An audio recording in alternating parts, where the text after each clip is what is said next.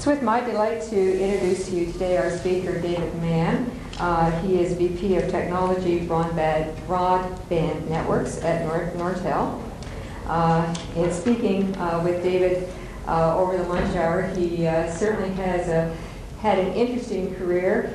Uh, he has worked and lived in many countries, including the UK, Spain, Zambia, Belgium, Sweden, and now Canada. We're fortunate to have him in Canada. Uh, in 1989, David received, on behalf of STC, the Queen's Award for Technical Innova- Innovation. As I've indicated, David's current position in Nortel is Vice President of Technology, Broadband Networks, where he's leading his organization in the development of next-generation network fabrics. He's also a member of Nortel's Technology Council. Uh, David's had many positions, I guess, uh, in Nortel, including Vice President and General Manager Broadband Switching, and he's also served as Nortel's Chief Engineer. Uh, David's going to speak today on speed, agility, and innovation, the promise of WebTone. So with that short introduction, Oh. uh, I introduce to you Oh, thank you very much. David Mann. So um, before I start, I'm oh, sorry. So before I, I, I'm not going to use charts. Uh, I'm, I'm going to declare this a chart-free zone, uh, and I'm going to explain why in a little story just before I start. And uh, just uh, before uh, Nortel purchased the company that I worked in in the UK, um, I was invited to visit BNR in Ottawa, in Canada. I don't know if any of you have been there, but it's this huge, huge building. And uh, passing through one of the corridors there, I had these two young chaps who just joined from university discussing uh, BNR working there. And one was saying to the other that um, uh, in here there are definitely two types of people. And there are uh, people who are casually dressed and people like myself who wear jackets and ties and so on and so forth. Do you have any understanding why this should be?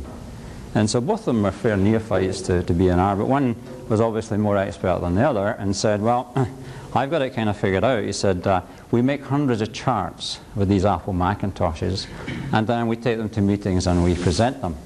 And the people who present are the people who are casually dressed. So I figured out they're the workers. Right?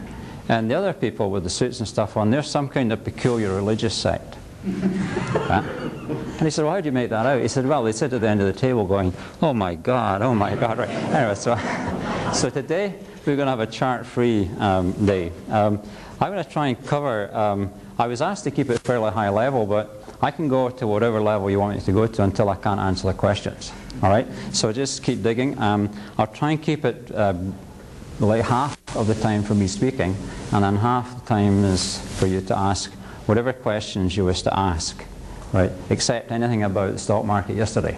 All right? Okay.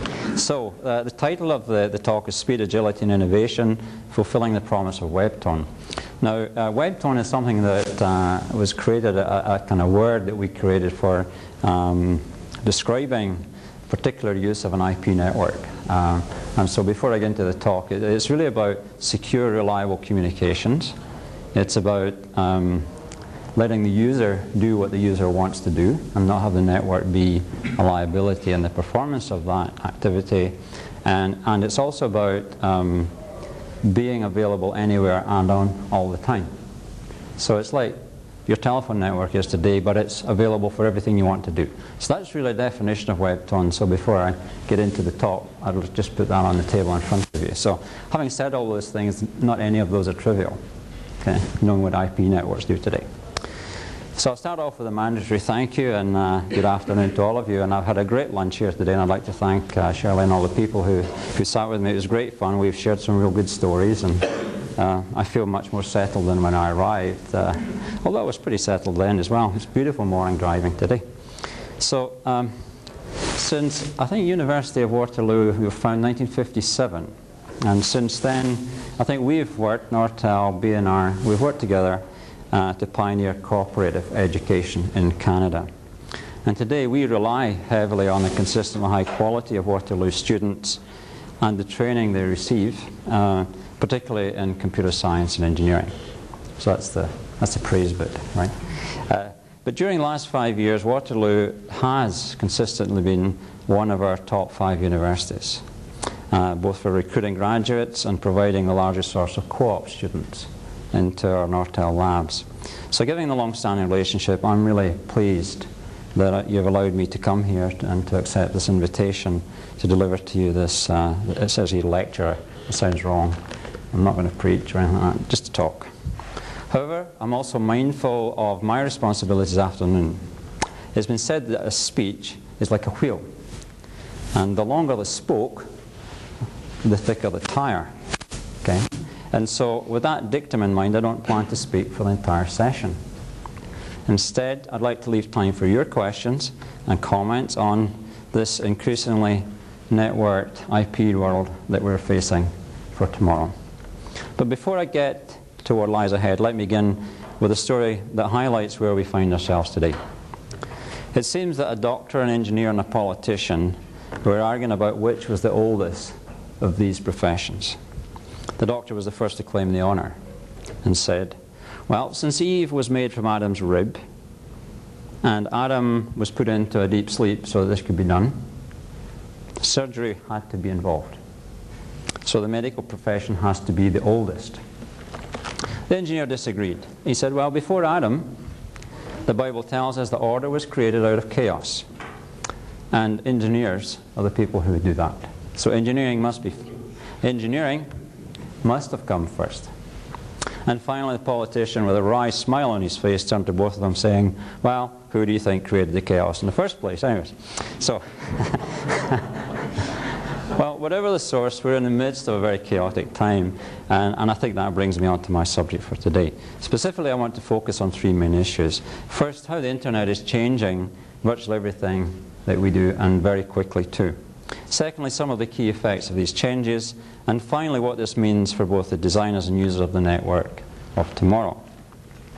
And I sum it up in one acronym, and that is VUCA. This is a word we use in Nortel, VUCA. We shouted at people who run for cover. It stands for velocity, uncertainty, complexity, and ambiguity. It is actually a military term. Uh, but we use it in, in our company because that's what we're facing. So if you ask anyone to predict the future, you really should look in a glass ball because you'll be just about as accurate. It is really difficult to, to figure out how this is all unfolding. But these are all major forces at work in our industry.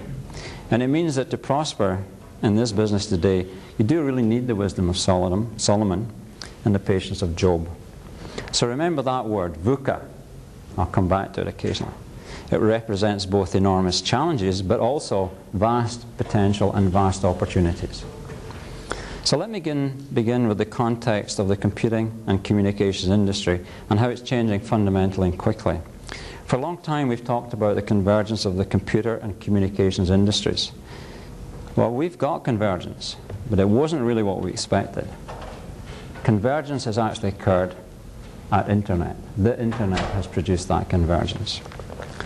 It is the major force in the current and widespread restructuring of both the computing and the communications industry.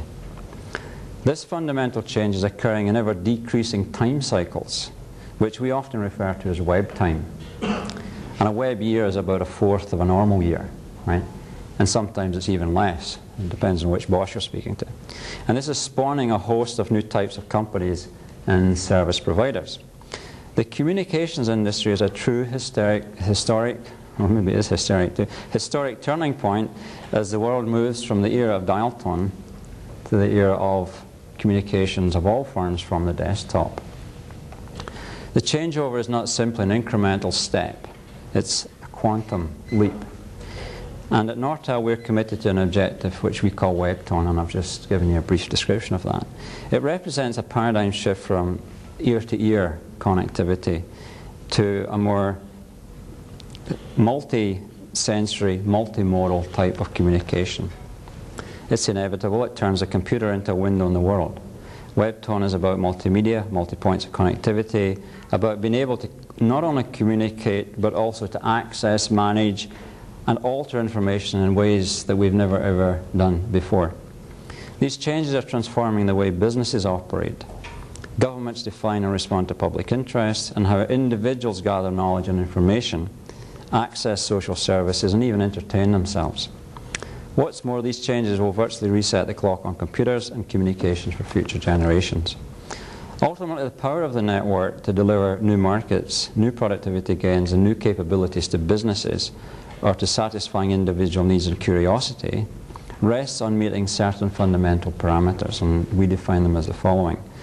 Number one, bandwidth based on application needs has to be dynamic, and it has to be relatively inexpensive. Secondly, connectivity must be easy, and it has to be available, always.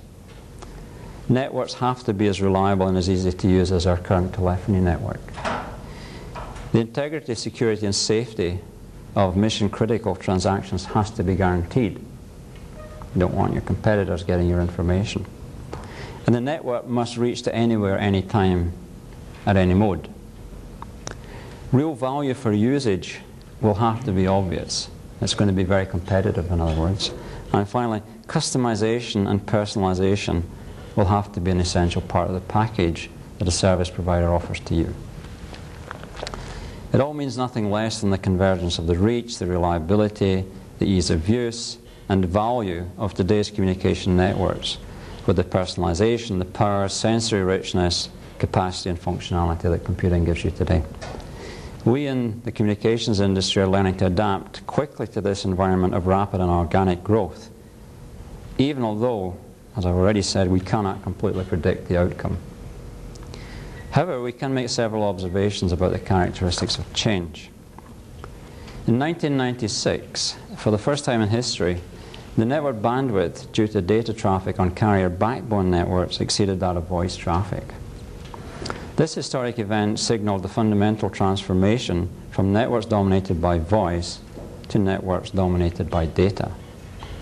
Today, bandwidth due to data traffic is growing 10 times faster than that due to voice.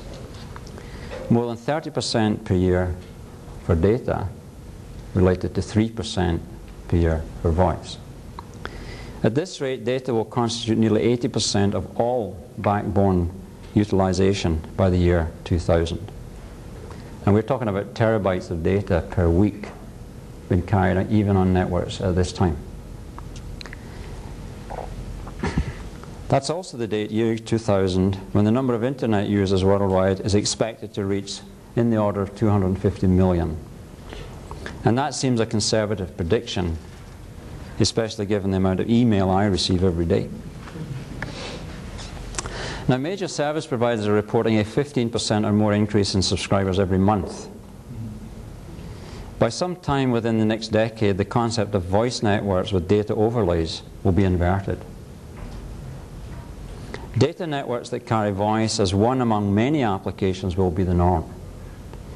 As limitless amounts of data and multimedia information flow unrestrained by network limitations, and that's an important aspect of looking forward, unrestrained by network limitations around the world.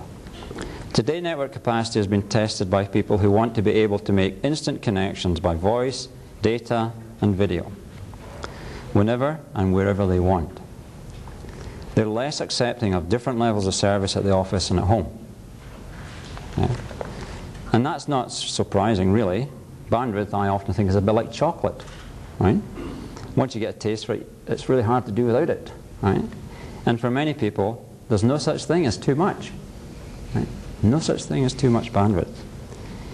Fortunately, at the same time, our ability to manage and transmit vast volumes of information have been growing exponentially.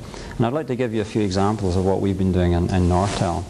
For example, in the UK, we're building a network for cable and wireless that will increase the capacity of fibre optic links by a factor of 24.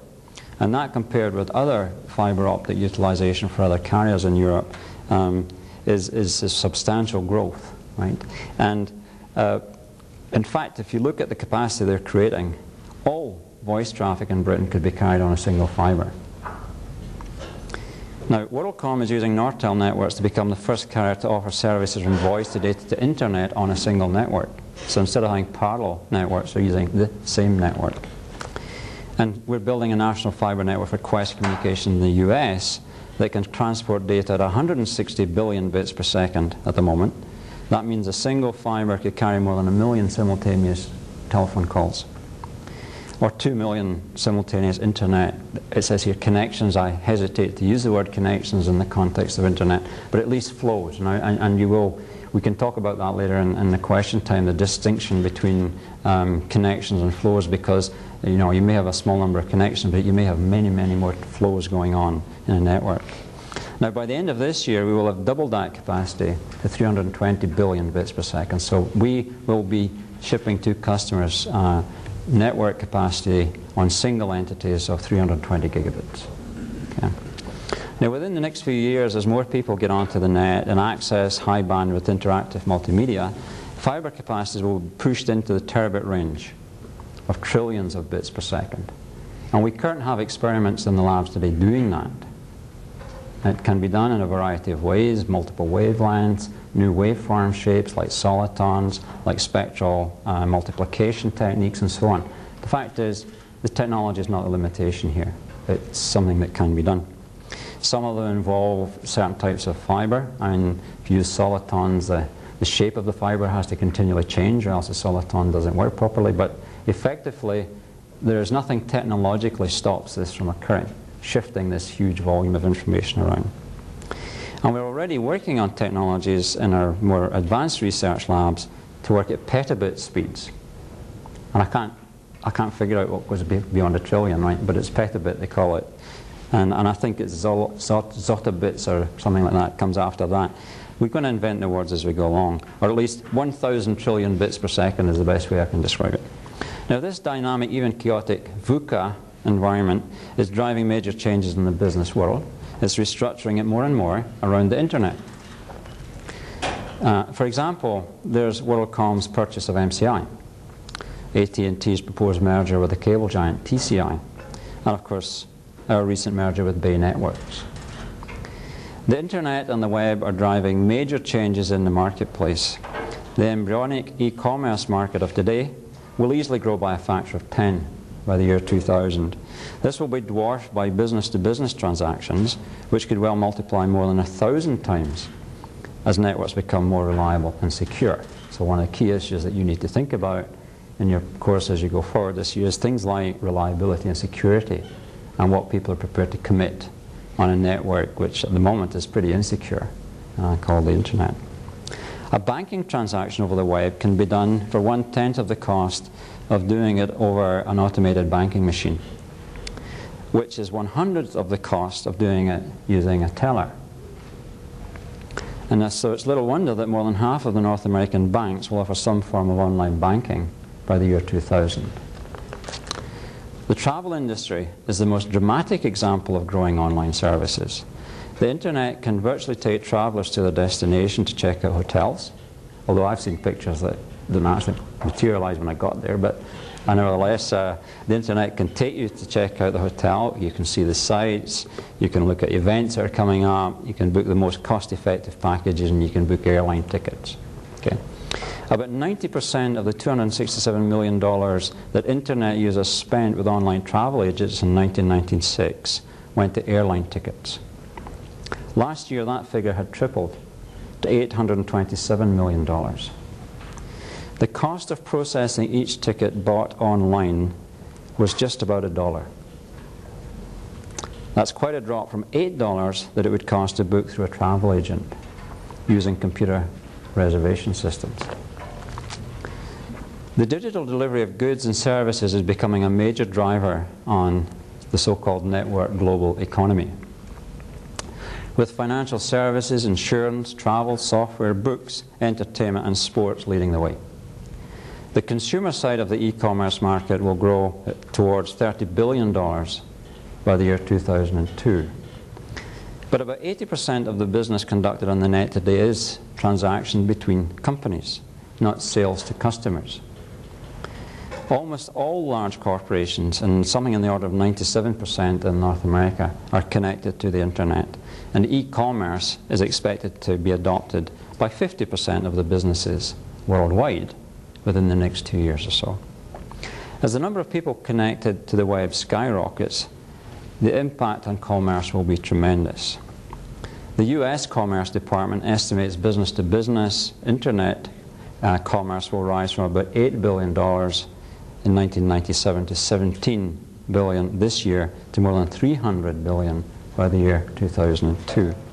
Others suggest there'll be 450 billion worth of trading going on between companies, their corporate customers, and their suppliers by then.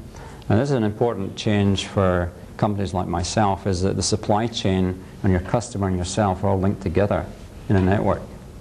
And it does fundamental changes to how you perform research and development, for example, and production of products. So that is another, I mean, there are all sorts of threads of change going on here. The simple fact is that today the economies of the world are not only dependent on networks, they're increasingly being driven by them. We're also seeing fundamental process changes in the industry, particularly in project development.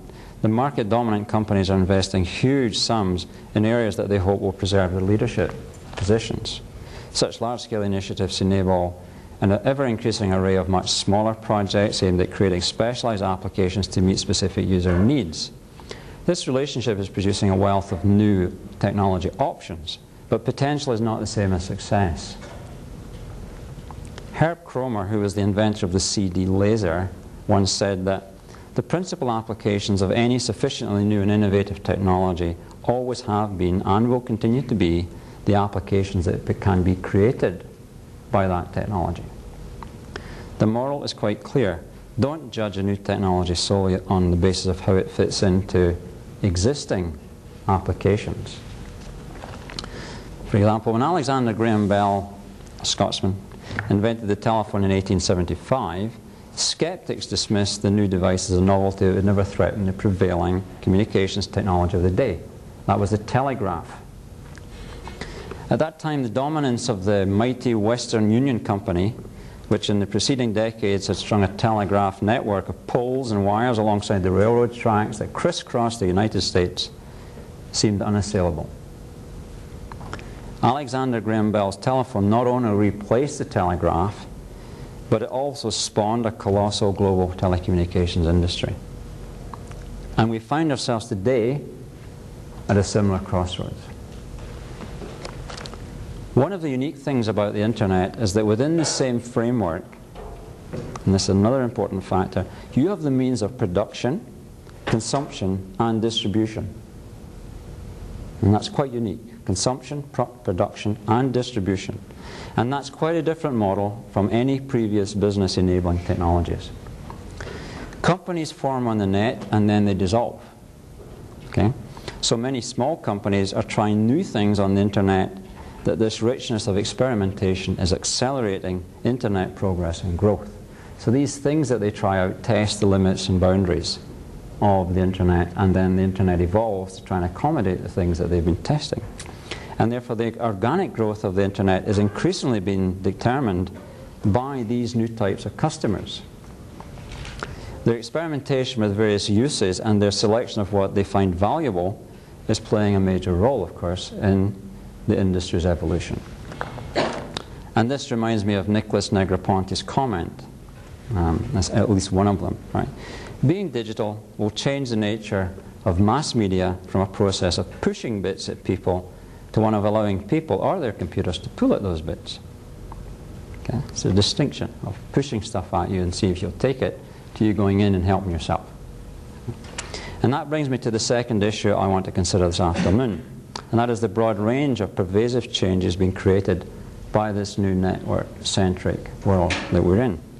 Now let me give you a few examples of what a powerful effect these networks are having on business today. First one is Dell Computing. Dell Computer does about a million dollars a day in business over the internet. And Hewlett Packard's on a similar kind of drive. Now, Dell is a very interesting company because they have their cash in before they pay their suppliers. And when you look at companies, one of the things you'll measure, um, I'm sure you'll all go up into executive positions, you look at how many days are there between us buying parts and us being paid for the products that contain those parts, right? And those are called inventory days or whatever you like to call them, but it's how long you hold on to the pieces. And most of us have a positive number of days. Well, Dell has a negative number of days. And when you read that, you think, I can't, well, somebody made a mistake here, right? But to see a negative number of days. Now, Walmart's another company that does that. You, go through Walmart, when Walmart, when you put the stuff through the till at Walmart, is the only time Walmart take ownership for it, for that instant in time. Right? For that instant in time. And why? Because they're fully networked with all their customers. So for that tiny instant in time, they don't hold huge inventories. The minute you pay, the money's in their bank and the money's on the way to the supplier. So for that tiny instant in time that it goes through the cash register, ownership by Walmart takes place and then is lost again. Okay? As you walk out the shop. Doing them a big favor. Amazon Books did $16 million worth of business on the internet last year, selling to over 180,000 customers. And FedEx's website attracts over 107,000 hits a day. Sorry, yeah, a day. And without network capabilities, it would be fair to say that there would be no FedEx as we know it today. No FedEx as we know it today. Nor would some of the world's most important industries be as competitive as they are. Boeing aircraft, for example, cut years and millions and millions and millions of dollars off the creation of the new Boeing 777. And there's a real interesting video series which is called Working Together, which shows some of that, and one part of that is about the network that was behind the people to share information, right? And the new Boeing 77 uh, saved all this money, got to market quicker, and could fly further offshore than any two-engine aircraft could do in the past because they were able to get in the hours of flying required for safety purposes to have that permit done. And that was all done by having the right kind of networked infrastructure across the globe. The Ford Motor Company's internet connects over 80,000 professionals worldwide. It has redefined the company's culture and the way it does business. I'm not going to comment on the cars, of course, but um, it is a big change in Ford's culture in terms of the economics of how they do their business. The communications revolution tilts the balance of power from institutions to individuals. Uh, again, that's an important thing that's occurring. In the world of the internet, choice is becoming the key value. So choice between one service provider and another, choice between what you want to buy and something else is, is a key thing. And the options are increasingly literally at the speed of light. On any given night, as many people are plugged into America Online, the world's largest commercial online service, as there are viewers of CNN and MTV combined. Okay. Between 30 and 40% of children in the US have reduced their TV time to surf the internet, and in the US, where the average household viewing time for TV remains some 50 hours per week, it is reported that households wired to the net watch only about two thirds of this. And I guess someone's hidden the remote control as well. Okay. Um, and there are clear indications that usage is rapidly gaining interest and acceptance both in North America and the English speaking world. Websites posted in other than English, and in particular Japanese and German, have risen from 2% to 18% of the total population in the last two years. There's absolutely no doubt that people are getting hooked onto this internet. And this, in combination with rapid technology advances in the network, is creating a new breed of customers with new expectations. So here's the book you should go out and get yourself. It's called Real Time Preparing for the Age of the Never Satisfied Customer. The Never Satisfied Customer. And it was written by Regis McKenna. And let me give you some highlights of his ideas. I think they provide uh, a pretty good context for what we've been discussing. McKenna says that refined and high-powered computer databases increasingly allow marketeers to tailor goods, services, and promotions precisely to customers' individual preferences and requirements. You know, when you log on to systems, you put in things that you like, what kind of preferences you've got. Well, that information has actually been used to sell stuff back to you that feed to your preferences, right? So he says, what's the result? Customers have gone from being surprised and delighted by the marketeer's attempts to discover what will be most pleasing to them, demanding, in fact, that they do nothing less. Right here, right now, tailored for me. Served up the way I like it. If the new consumer's expectations were spelled out on a billboard, this is how they would read. Consumer criteria for absolute satisfaction from supplier organizations have become so stringent as to seem unreal by any standard of the past. The new interactive technologies collapse the space between the consumer and the innovator. The extraordinary attentiveness to customers' desires by companies using these tools leads their customers to expect a similar response from other companies.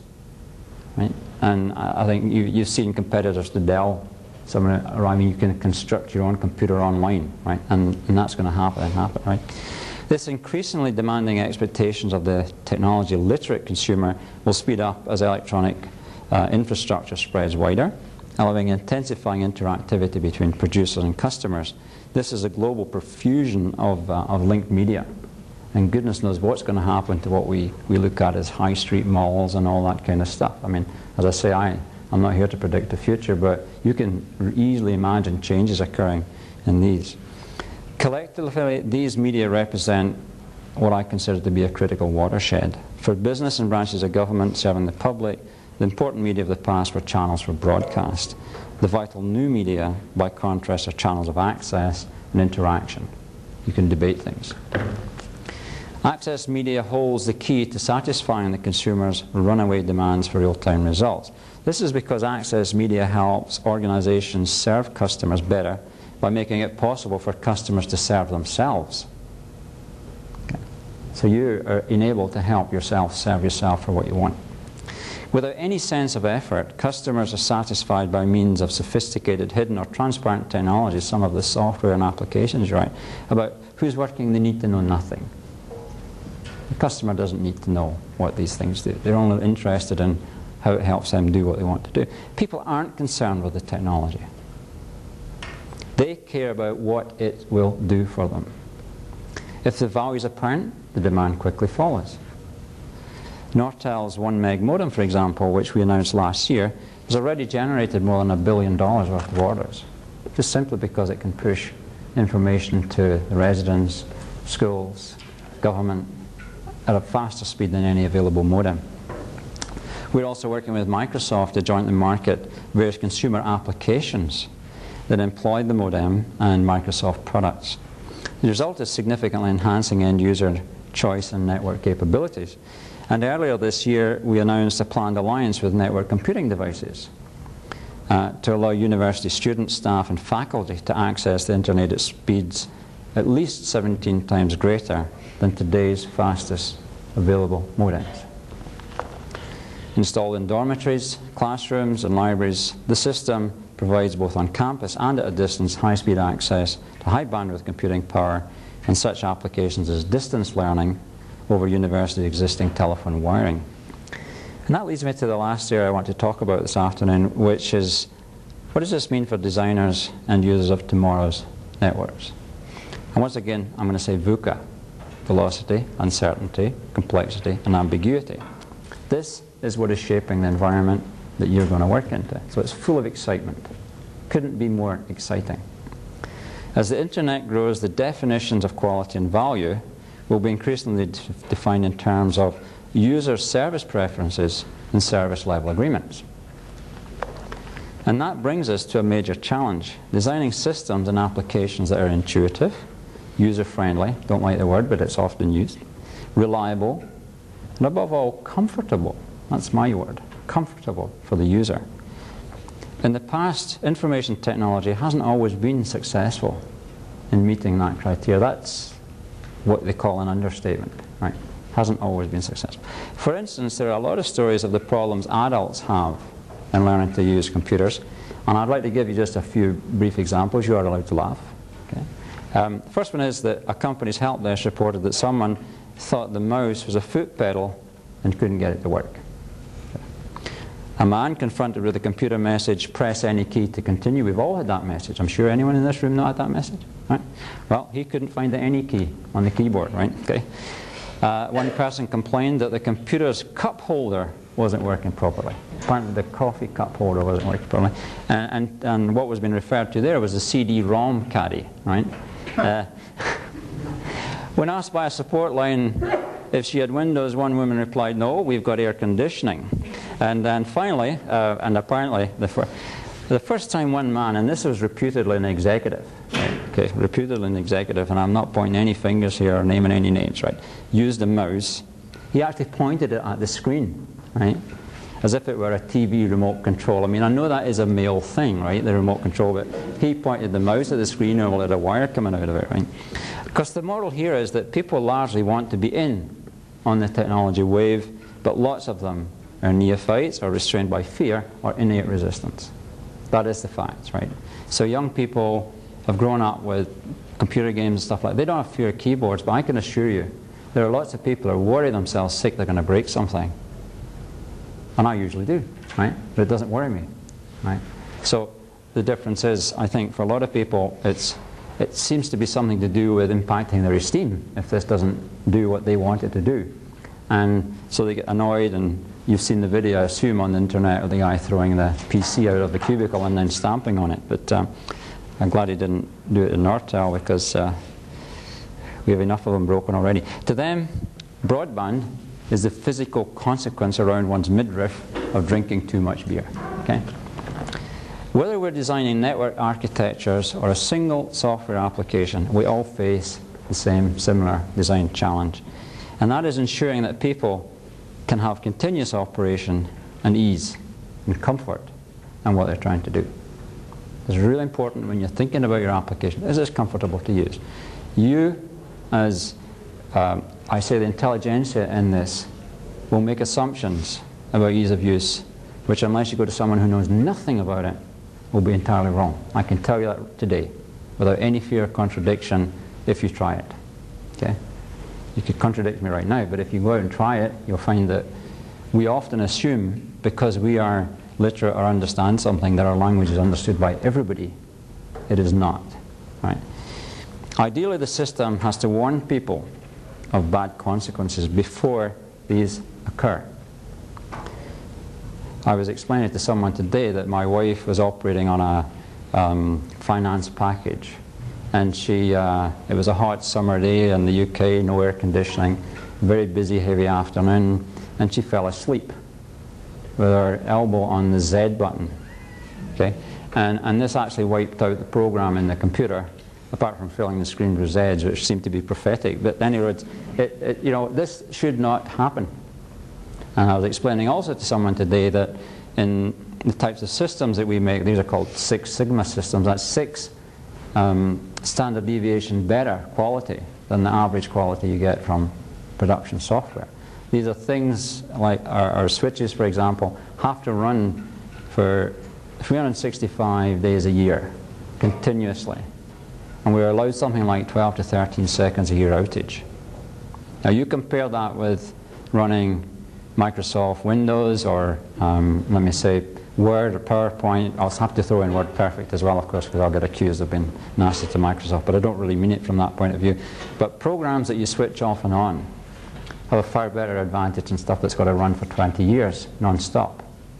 And you have to apply different principles in designing them. And what I'm really alluding to here is when you move to what we can see in the internet and this pervasive use, the same defensive programming techniques and the same sort of um, uh, defense of the customer needs to be built into your design.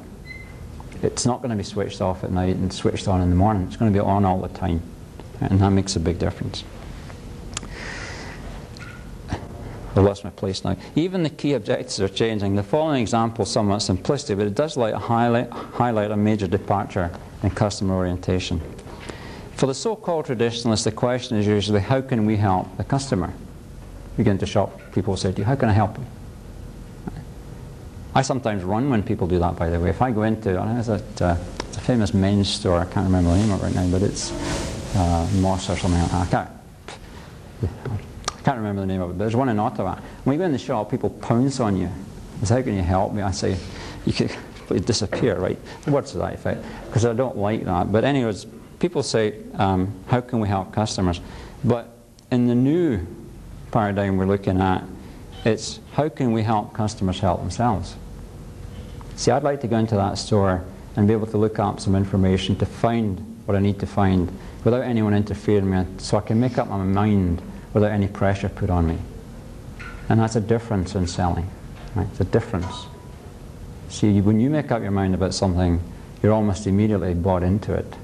And it's your decision, and your loyalty to that product is different than if somebody came and sold it to you, in spite of the fact you really weren't keen, but to get shot at the guy, you buy it. Okay.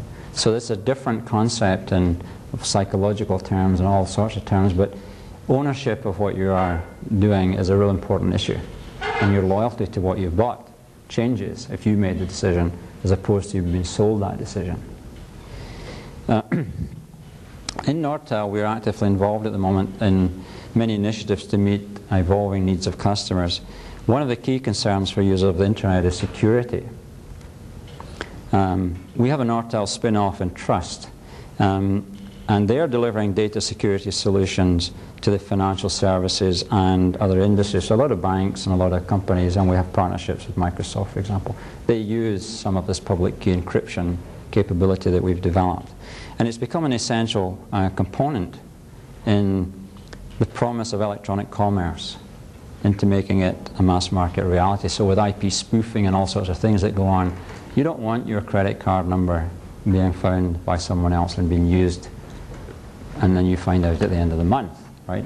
So there are such, such things as IPsec and such forthcoming, but you're going to have to have that sort of security.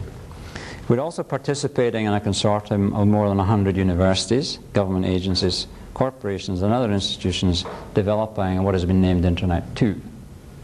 Um, the next generation Internet will handle multimedia applications 100 to 1,000 times faster than today's Internet, uh, allowing it to become the primary medium for businesses. And complementing Internet 2, we are also part of an MIT Internet telephony consortium working on the technical, economic, strategic, and policy issues uh, arising from the convergence of telephony and the internet. This consortium is nurturing new forms of integrated multimedia uh, that use the full capability of internet and broadband networks. These networks will also demand new forms of access that overcome today's bottlenecks, uh, particularly the last mile of access to the network from businesses and homes. That access is now provided mainly by coaxial cable or by uh, copper wires designed for analog telephone transmission. So the last mile is a big hurdle, right? Um, cable modems and compression technology enable these networks to deliver fairly high speeds, and wireless and satellite systems have evolved to bridge that last mile cost effectively too. Um, I, one of the issues about the last mile is whether or not you have copper in place. But if you have to actually dig the streets up and put copper in, sometimes it's better to use wireless, right, than to, to do that because the you know nine tenths of the cost of putting that in is the digging and the civil works and the permission to do it. The handouts, right? Um, didn't say that. Take that off the video, right? Uh, the Nortel vision of Webtone represents a powerful new tool in increasing the efficiency and speed of many different types of activities at work, education, delivery of social services and personal entertainment and betterment, personal betterment. And that brings me to your part in this revolution.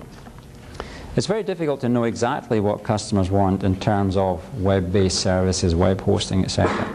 But the possibilities are virtually endless. Uh, for example, imagine what level of creativity could be unleashed in our universities, governments, or corporations if discussion groups could reach out easily and instantly to other groups, experts, or information data banks to get a second, third, fourth opinion on a particularly tough question.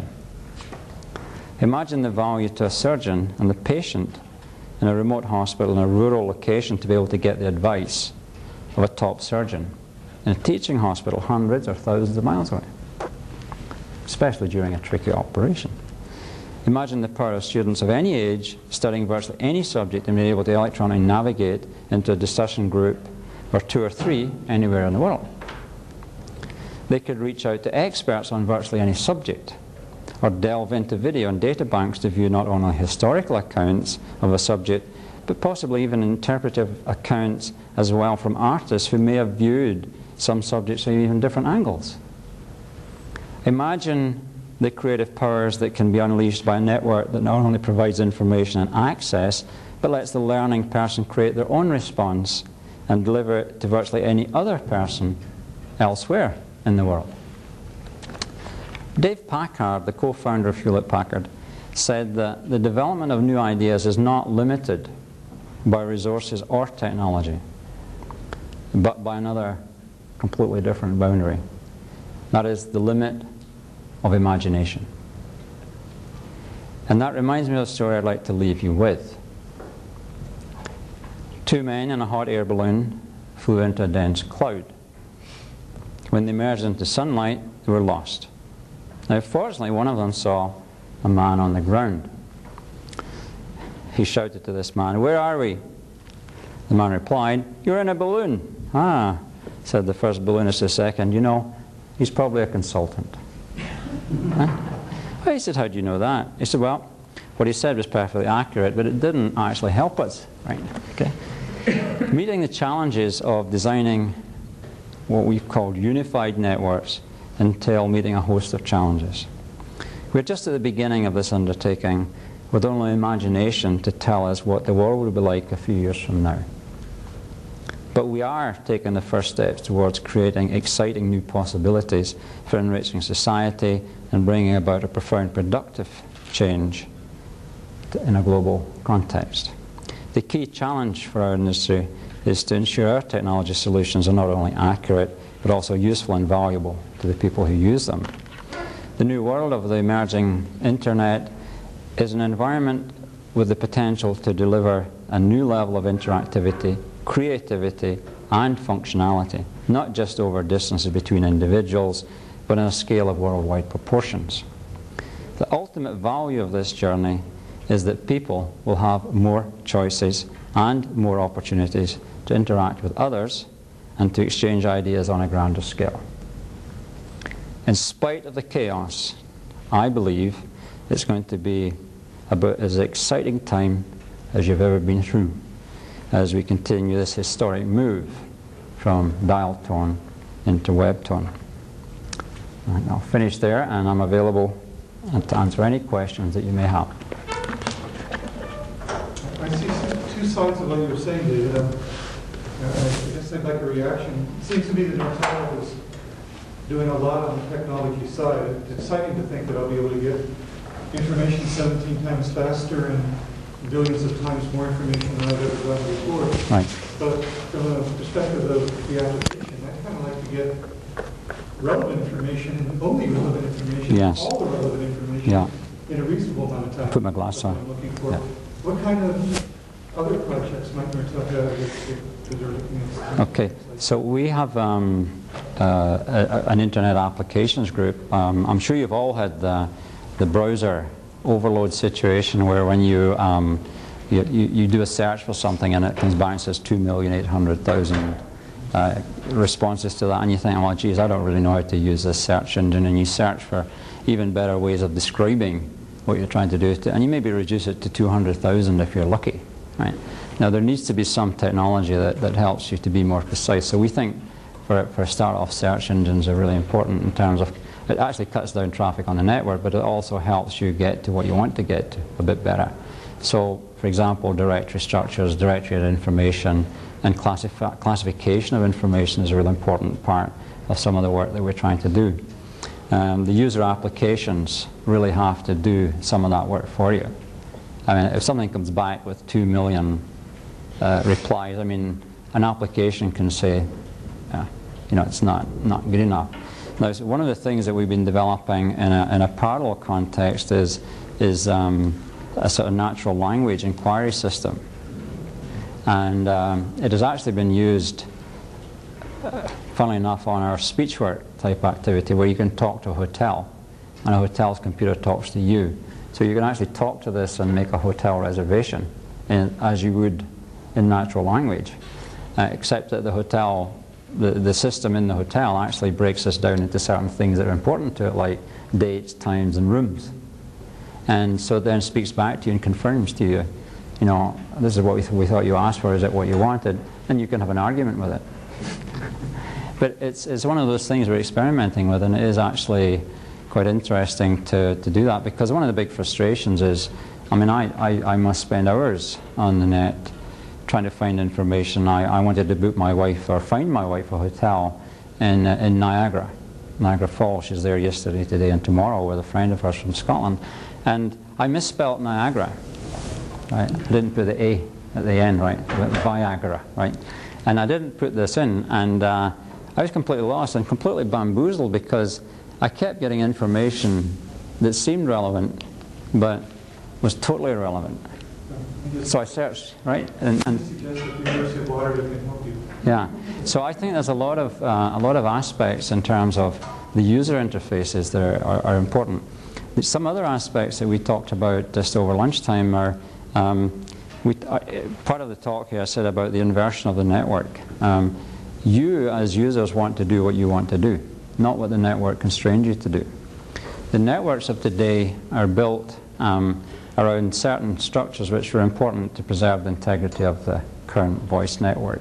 So for example, 64 kilobits is used as a sort of standard framing technique for voice. You take in a, a stream from an analog phone, it gets converted into, well, it gets compressed first of all to a bandwidth of 3.4 kilohertz, it then gets sampled at a certain rate that uh, produces a 64 kilobit stream and those get formed up into little cell, little frames, if you like. You could call them cells because they're absolutely the same length all the time, about 125 microseconds wide, and they go zipping across the network. There are two standards for doing that.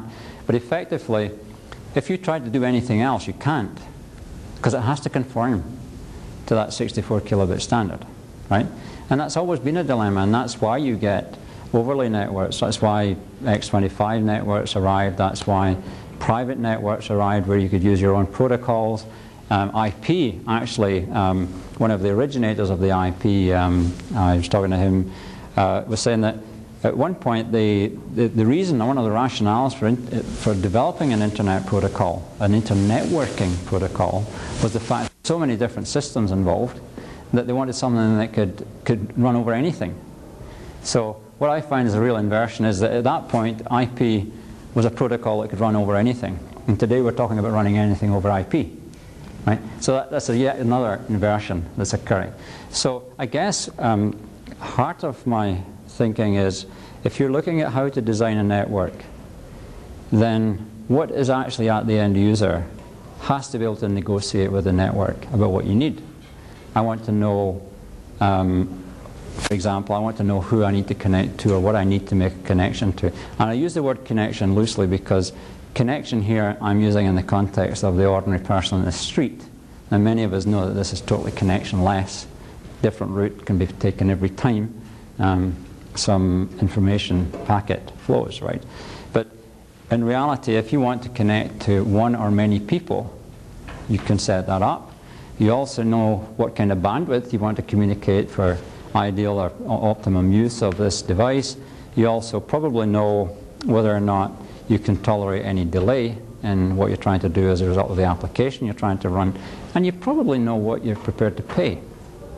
So if you can imagine some kind of fuzzy logic in some interface that you've given those parameters to, it can then negotiate with different network providers as brokers who can bring to you something that meets your parameters.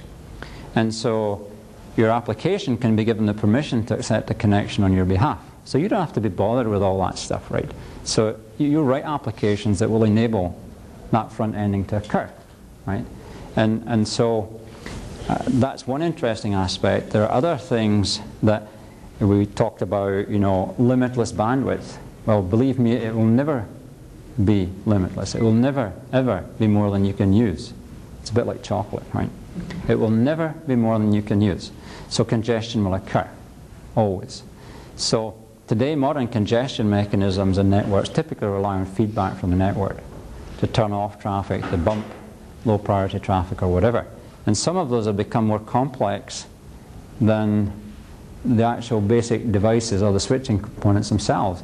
In ATM, for example, and please shout if I'm getting into too much detail, but in ATM, ABR, um, that's available bit rate, is a best effort type service, but it has associated with it very uh, complex feedback systems to let the end station know whether they can or not transmit.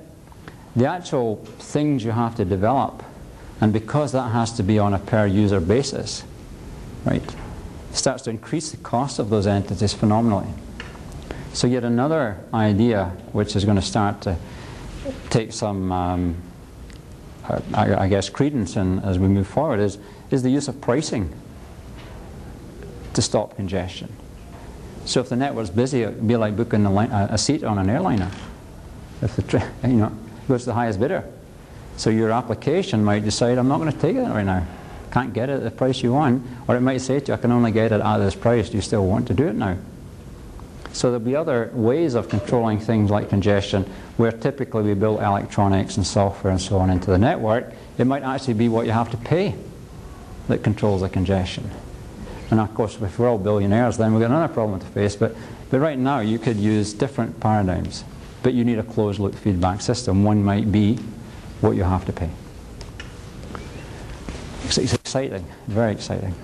It's, it sounds like you're telling me that I live about three blocks from this big lake, and right now I have to get water with a teaspoon. Yeah. And so it's this last mile problem. Yeah. When is that going to be solved, and, and what's Nortel doing about that? Well, I, I think I've said to you, we, we already have solutions in the last mile space. So we, we are currently shipping one meg modem, and uh, it certainly makes a big difference. Um, my, uh, so, so the last mile, I think, will evolve very dramatically over the next few years. There are some higher speed technologies, and of course, the cable modems run at even higher rates than that.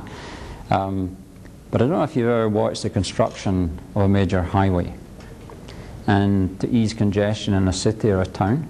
And as you move and build the highway, the congestion moves to a different place. And once you've completed it, you now have a new form of congestion because it gets filled, and so you have to start doing something again. So, whilst I think the last mile is important, once you've solved that problem, what's behind it within the network, and I mean there some of the server technology and uh, you know the bandwidth in the network to shift the information around starts to become the issue. There's some interesting correlation you might like to try. Um, if you look at the uh, market forecast for bandwidth on high capacity trunk links and networks, and that's readily available data, so I'm not going to give you a hint here uh, what it is, but if you look at it for the year 2005, and you look at the um, predicted growth in access technologies, this would be um, high-speed Ethernet to the home, gigabit, 10 gigabit Ethernet to the home, and things like that. If you multiply all the access and compare it, do a correlation with the amount of bandwidth on the backbone that would be needed to support it. Um, it's a good exercise to do. I'm not going to tell you the answer, but it's a good exercise to look at what happens in a set of shifting dimensions. So you're, you're, um, if we solve the access problem, I think is what I'm saying, is you're going to find some other things that we have to resolve. Um, and I happen to think that um, a critical thing which is not getting a lot of time at the moment is, is what the server technologies are that we're using and the network that allows them to exist and all be accurate and up to date. So if you take directory-enabled network services, for example, something where a directory can determine what kind of uh, agreement you have, what kind of qualities of service you get, and what kind of policies are to be enacted on your behalf by the routers in the network, then that's okay when you're doing two or three transactions at a time, but you know, once you step that up into thousands concurrently, and then maybe n thousands concurrently, then the server and the processing technology associated with that, and the software you write to allow that to happen, and the structure of the directories start to become absolutely crucial in delay performance of the network.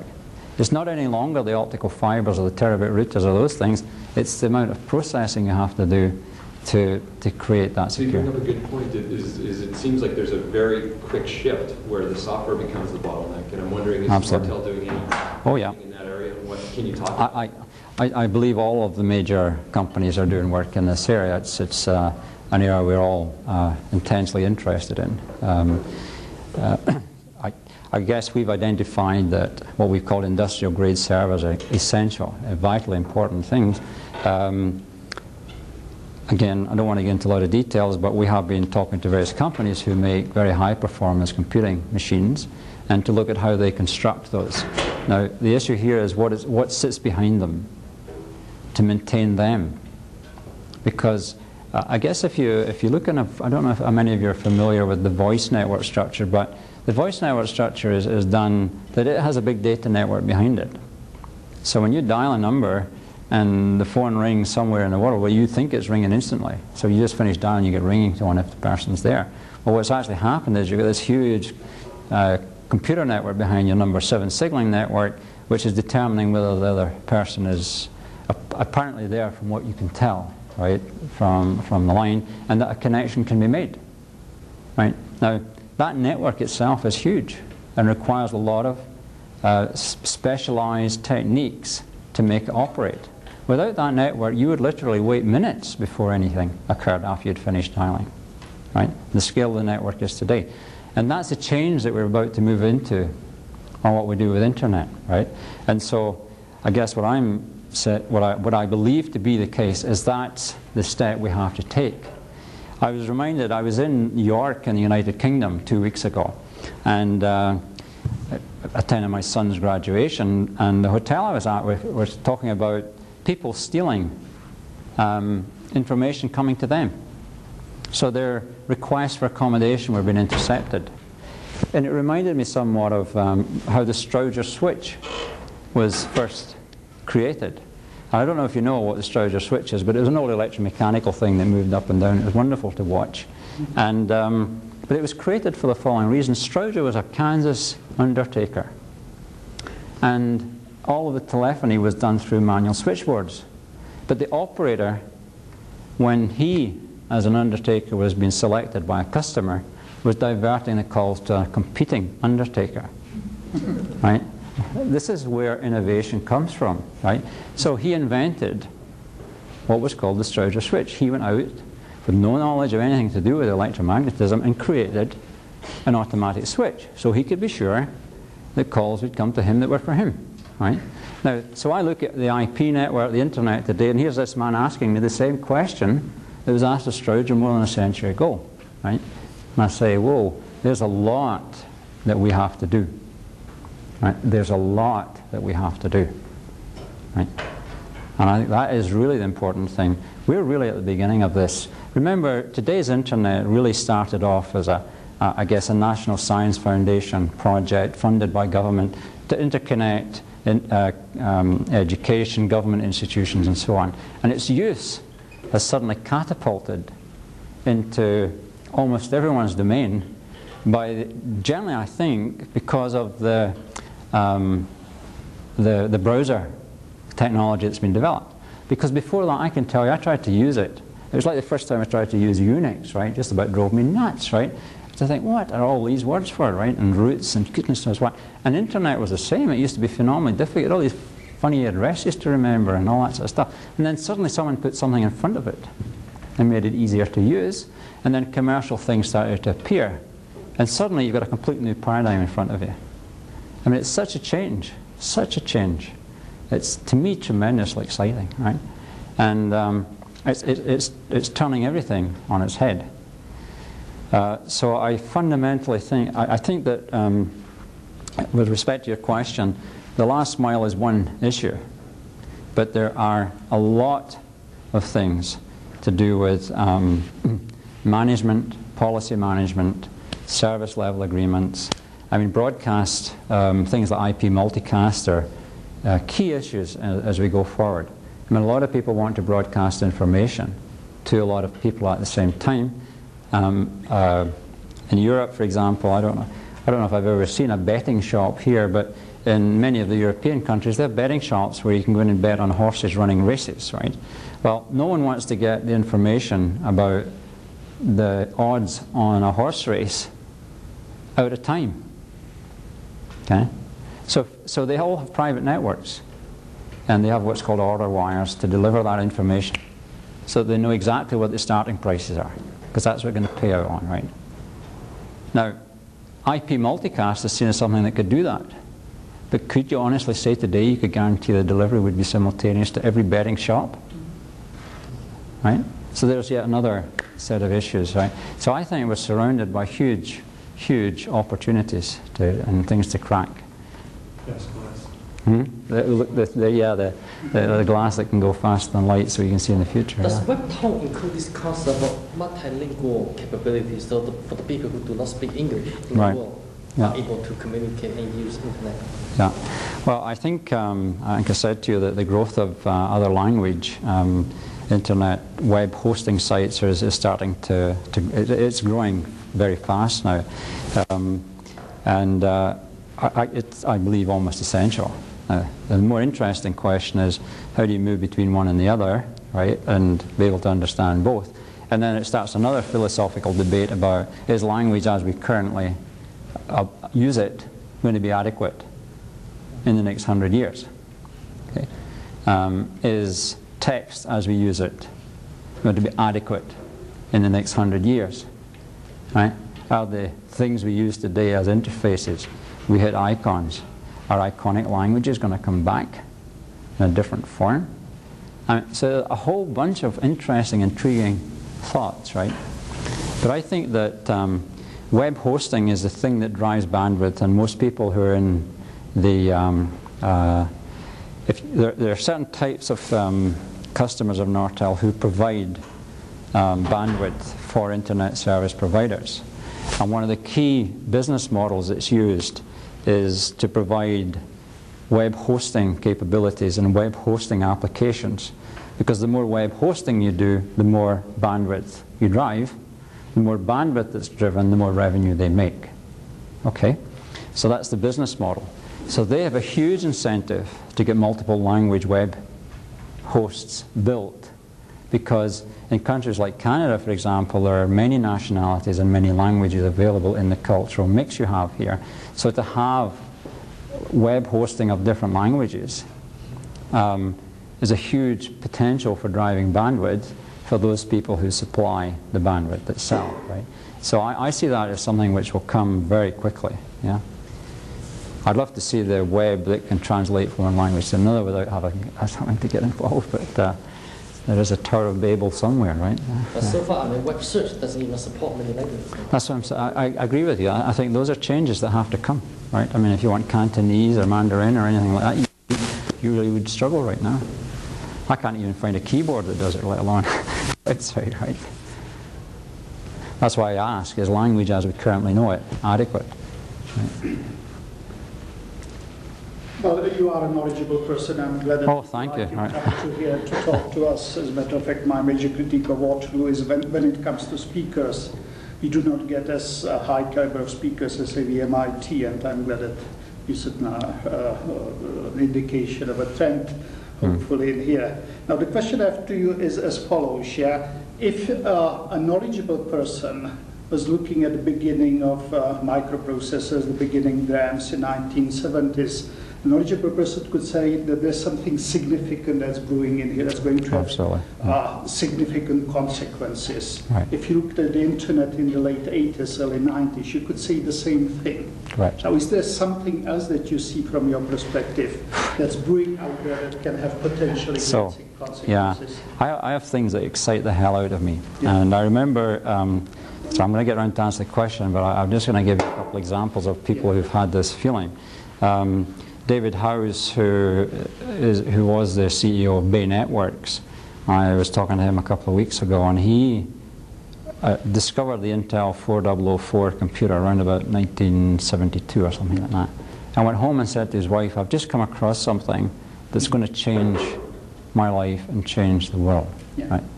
And it's also going to change your life because we're going to the West Coast uh, because I've just accepted a job with Intel, right? Yeah. Okay. So that excitement comes across, um, I think, um, a few times. And I became aware of the internet, I guess. Uh, we used it in our labs in the UK um, a while ago.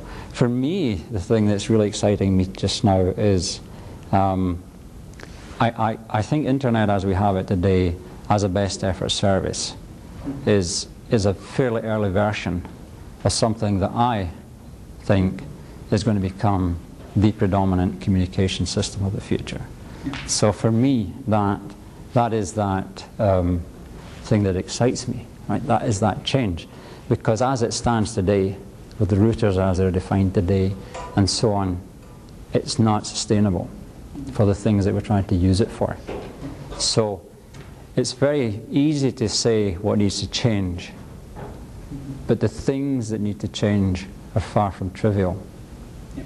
And I have a list of them, and the list gets longer all the time. But what happens when you develop the list is you develop more knowledge about the challenge that sits in front of you. And you develop then confidence about what steps you need to take and what order you need to take them in. And I, am excited by the fact that you know, Nortel and Bay have come together because the one thing that I guess you know of bell heads and net heads, and I think Nortel yesterday was called a bet head, right? Because I don't think the analysts are too sure about this, but the um, the the bell head mentality is um, very much around structured networks and very structured entities and so on, and keeping control in the network, right? The net head mentality is to say, no, let the end user equipment control what needs to happen. So my equivalent to the 4004, right, is that intelligence in the network will transform. It will go through a metamorphosis in that that that resides in the network will be there to help you do what you want to do. In fact, it will be not a gatekeeper, but a gateway for you to enable you to do what you want to do. And the end user applications will give you more choice than you've ever dreamed you could have about where you can go and what you can do with what you have. So to me, that's a dream. I don't want the network to impede me in any sense or form. And I don't want to have to log on with all these silly log on things and things like that. Those are all going to change, right? Um, I believe, um, for example, that if we don't come to this challenge, there are other players who will. If you look at companies like um, Intel and Microsoft and Dell, if we don't solve some of these challenges, their growth as companies is going to be impeded. So there, there may be other new players step into the arena that say, guy, if you guys don't do this, we're going to do this a different way. And, and that's the economy. Now, the other part of it is mobility associated with this. Because today when I wander around with my laptop, and I don't do it very often because my arms are getting longer, right, is the fact that when I go somewhere else, I have to start thinking about IP domains and IP addresses and changes I have to make, and then I forget to restore them, and then I can't figure out for two days why something won't work, and I have to go through the whole damn process of resetting preferences and all that sort of stuff, right? I don't need that. I do not need that. Right? That has to change, right? And so that's yet another thing in terms of usability of the network. I want to go to a hotel, plug in, and I'm on to whatever I need. Yeah. I don't have to do anything else, right? When I go to a hotel with a phone in it, I lift it up and I dial. Full stop, nothing else, I don't need to do it, right? So to me, these are the key things that have to change that let us be as productive as we can be. Now, what are the challenges for us as humans? Because there are challenges for each of us, right? Um, I said in there that there are 250 million internet users and they send me an email every day. And one of my challenges is how to cope with all the information, how to cope with it. Yeah, between what arrives in my in tray, what arrives on voicemails, what arrives on emails, what arrives on fax machines, it is more. It's like reading the Encyclopedia Britannica every three weeks, right? And you know that isn't possible. I know that's not possible. So I see filters, tools, etc., which allow me to just look at what I need to look at by me setting preferences. So as user applications, things that, I mean, already I tell people, if you copy to me, CC me, it's unlikely to be read.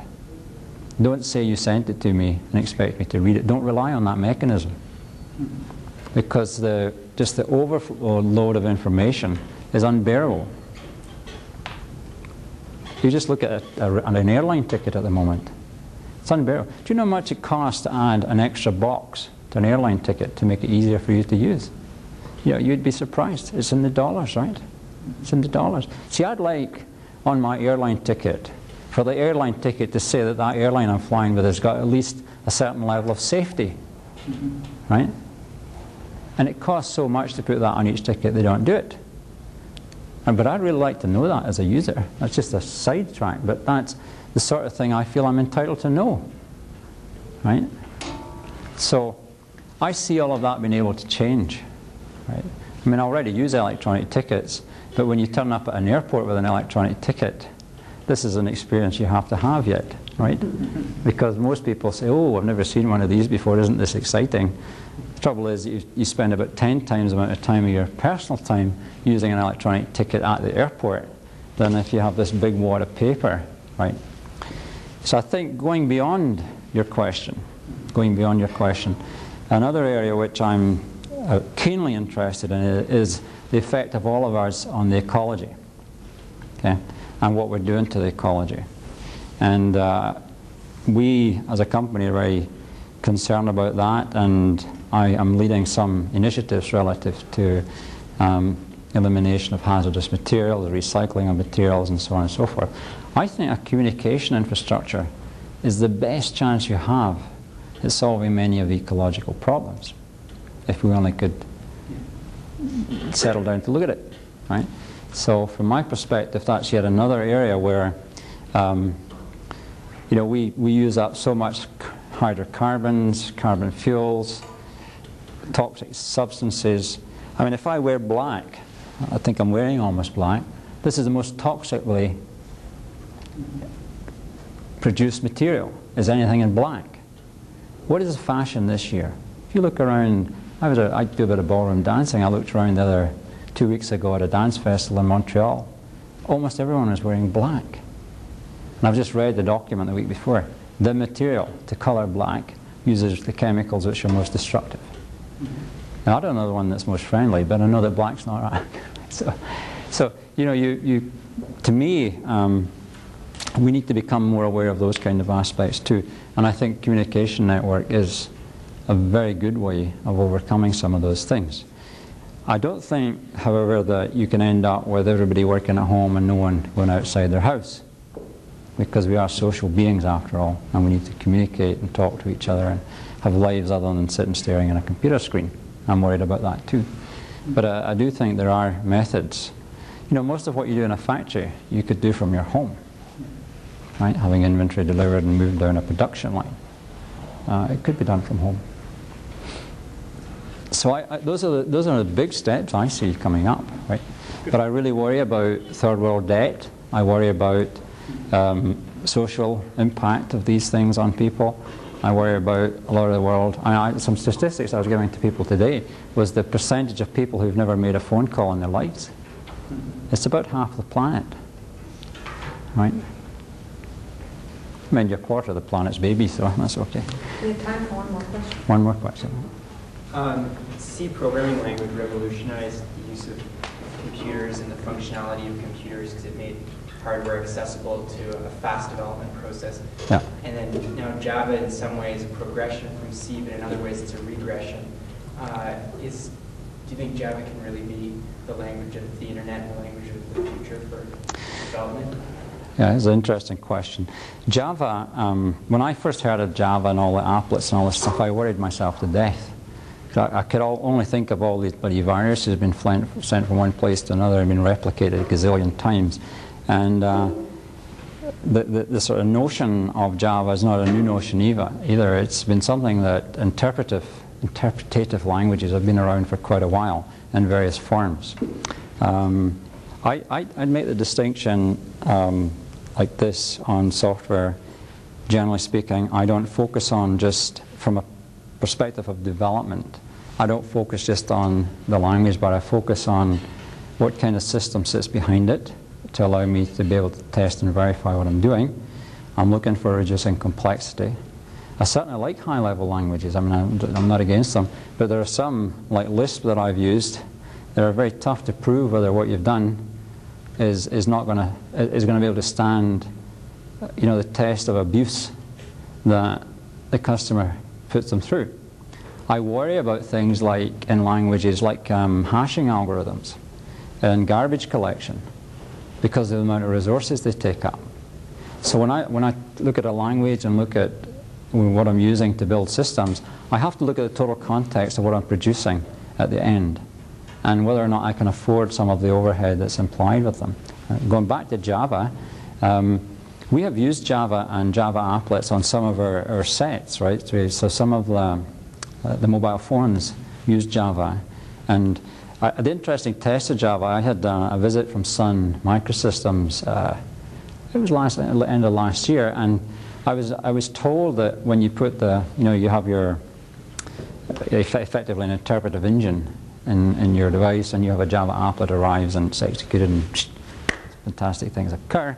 I was told that it was 100% secure, right? And uh, I, I uh, this is a bit of tomfoolery, by the way. So I, I, just pulled a bit of paper and I said, I, am about to sign a contract with you for Java. It says on here, 100% secure, will not destroy my user's application. Please sign it.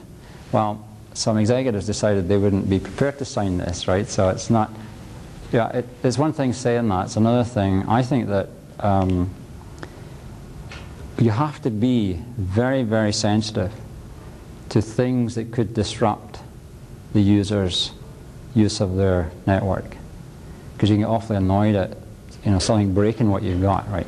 And even if it's possible to load it again, if it's eliminated all your directories or all your phone numbers or all your whatever, right? You, you know, the fact you can recover from is one thing.